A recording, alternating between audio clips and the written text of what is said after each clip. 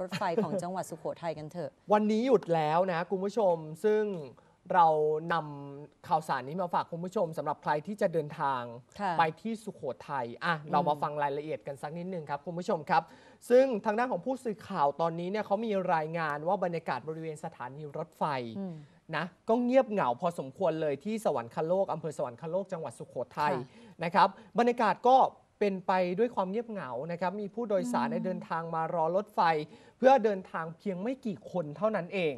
รวมทั้งนะครับเจ้าหน้าที่กองสาธารณสุขและสิ่งแวดล้อมเทศบาลเมืองสวรรคโลกเขามีการจัดตั้งจุดคัดกรองกลุ่มเสี่ยงที่เดินทางมากับรถไฟค่ะดีเซลรางปรับอากาศชั้น 2 กรุงเทพสวรรคโลกจำนวน 3 โบกี้ด้วยกัน ซึ่ง เมื่อวานนี้เนี่ยถือว่าเป็นวันสุดท้ายเลยที่เปิดให้บริการเดินรถ เนื่องจากการแพร่ระบาดของเชื้อไวรัสโควิด -19 ทำให้การเดินรถไฟเนี่ยประกาศหยุดเดินรถเพื่อเป็นการป้องกันการแพร่ระบาดเชื้อไวรัสโควิด -19 ด้วยนะครับอืมทั้งในสายใต้เลยสายตะวันออกเฉียงเหนือ แล้วก็สายเหนือรวมทั้งขบวนรถไฟ3ทับ4กรุงเทพสวรรคโลก กรุงเทพนะครับก็ทำให้ตอนนี้เนี่ยหยุด ไปเป็นที่เรียบร้อยแล้ว ค่ะ แล้วสำหรับสถานการณ์โควิด -19 ของจังหวัดสุโขทัยนะคะ ปัจจุบันก็มีผู้ป่วยยืนยัน 3 รายค่ะคุณ แล้วก็ได้รักษาหายเรียบร้อยแล้วนะ หลังจากนั้นแพทย์ก็ให้กลับไปบ้านไปพักแล้วก็กักตัวเองอีก 16 วันครัค่ะบกลุ่มผู้เฝ้าระวังทั้งหมดก็ตอนนี้มี 2,631 รายนะคะ กักตัวครบ 14 วันเรียบร้อยแล้ว 342 ราย ยังไม่ครบ 14 วันอีก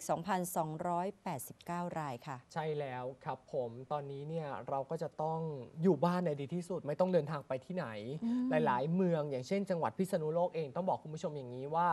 เรามีการเขาเรียกว่าปิดเรียบร้อยแล้วค่ะในส่วนของการเข้าการออก แล้วก็มีการเช็คประวัติสำหรับใครที่อยู่ต่างอำเภอค่ะนะจะเดินทางไปไหนมาไหน